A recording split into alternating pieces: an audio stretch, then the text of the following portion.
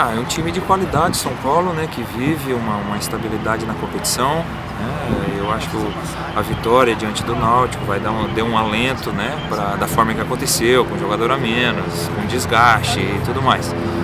Ah, só que a gente não tem nada a ver com isso. Nós, nós vamos entrar em campo com equilíbrio, com, com valorizar a posse de bola.